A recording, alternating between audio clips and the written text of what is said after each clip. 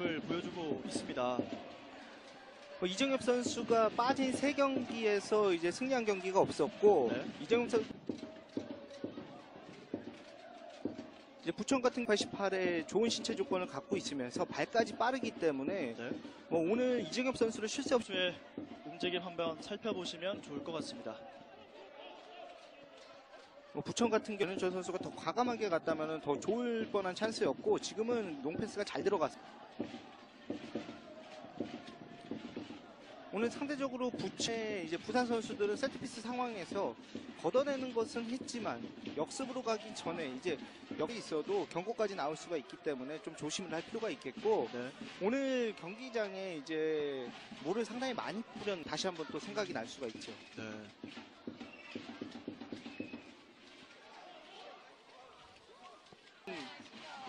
야 류현우의 거의 신들린 선방이네요. 그렇습니다.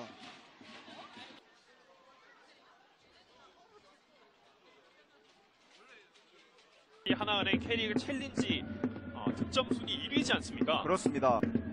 득점 순위 1위에 랭크가 되어 있습니다. 네, 뭐 이정엽 선수 얘기를 계속해서 하자면 아, 오늘 같은 경기에 이정엽 선수가 본인이 뛸 수 없다는 것이 더욱더 공격적으로 후반전을 풀어나가겠다는 의도를 해석해도 될까요? 그렇습니다. 아, 경남은 이제 아, 추가 득점을 향한 맞고 있는데 네, 이 말컹 선수와의 경합과 상당히 좀 버거워 보입니다. 그렇습니다. 후반전 20분 정도가 지나서 양팀 선수들의 약간의 창끝이 무뎌, 무뎌진 것 네, 이제 많은 그런 것들은 커버하고 있었는데 오늘 그 승부가 어떻게 될지 시즌도 그렇고 계속해서 시즌 초반에 좋지 않은 모습을 많이 보여줬었는데 올 시즌 그렇습니다. 모라이스 공 잡고 있습니다. 오른쪽으로 또 이것을 또 김태봉 선수가 무리하지 않고 가볍게 인사이드로 못하고 있습니다. 네. 촘촘하게. 자, 전반전도 40분이 지나서 최후방으로 모라이스. 이 차단을 해버리기 위해서 이제 콧볼로 그렇게 이제 슈팅을 한 그런 모습인데요. 그렇습니다. 말씀해 주시는 순간 이 선수 교체가 있었습니다. 오늘 경기 첫 번째 선수 교체는 루키안이 들어 방해 아닙니까? 네. 경기 그대로 진행시킵니다. 진규.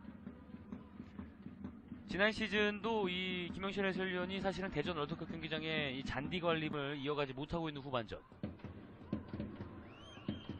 여전히 슈팅까지 가는데 어려움을 겪고 있습니다.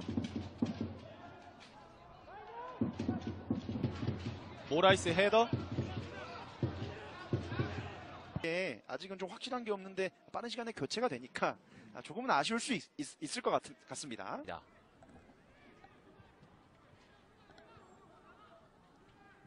시즌을 두드려보고 하고 있는데 네.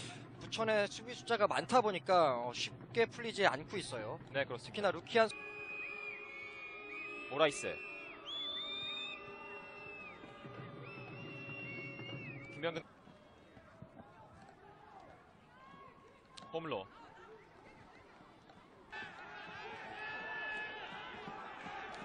자, 지금 조범석 선수가 교체 투입되기 전반 한 20분 정도 흐른 상황 속에서 아, 생각보다는 경남FC의 모라이스. 김문환 선수는 뭐 중앙대학교에서 뭐 자유계약으로 올 시즌부터 어, 부산에서 뛰고 있는 선수인데요. 수비수들이 이러한 것들을 조금 더 생각할 필요가 있어요. 그렇군요. 야스다가 옆쪽으로 부산은 지금 급할 필요가 예. 없기 때문에 무리한 공격을 뒤쪽으로 서울랜드 같은 경우는 공격 시에는 이제 4-3-3에 가까운 형태를 보여 그렇군요. 사실 이렇게 물기가 있으면 이제 공격들에게 상당히 유리한데 네. 그만큼 아쉽게 느껴지고 있는 서울랜드예요. 사실 그러한 경기 한두 경 어떻게 배우셨습니까? 그 이슬기 위원은요.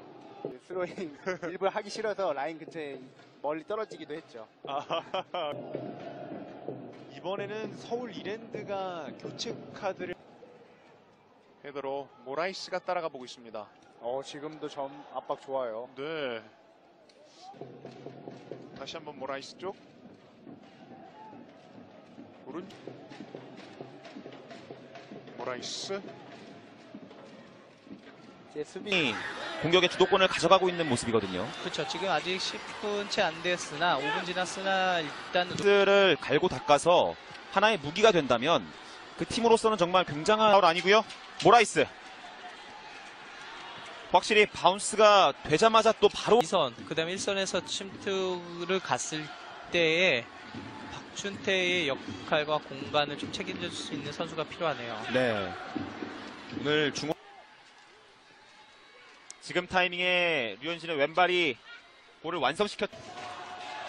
오늘 경기 무엇보다도 매치 포커스 때도 저희가 저희가 앞서서 월요일 경기 성남의 승률이 100% 다음에 수비 라인이 워낙 촘촘히 잘 서 있다 보니까 부산이 지금 조금 단조로운 공격 형태를 보여주는데 그만큼 대전은 벌써 올 시즌 부산을 향해서 이제 두 번째 경기를 치르 지금 추가로 지시가 들어가고 있는데요.